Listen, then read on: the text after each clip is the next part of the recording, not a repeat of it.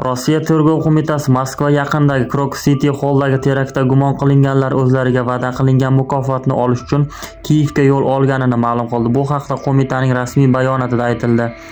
Rossiya Tergov qo'mitasiga ko'ra, ularning xatti-harakatlari Telegramdagi ovozli xabarlar orqali o'zini ularga taxallus bilan tanishtirgan shaxs tomonidan muvaffaqlashtirilgan.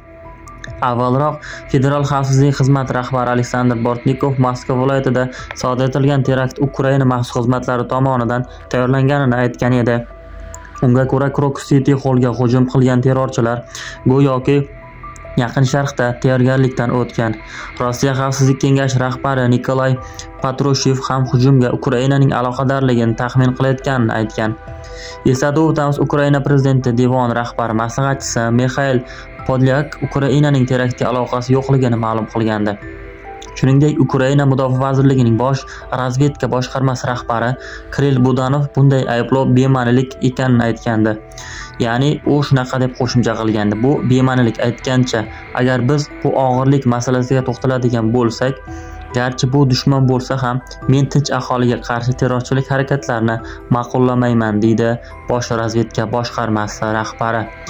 Bizda hozircha shu, keyingi videolarni aziz do'stlar biz bilan birga kuzatib boring. Sog' va salomat bo'ling.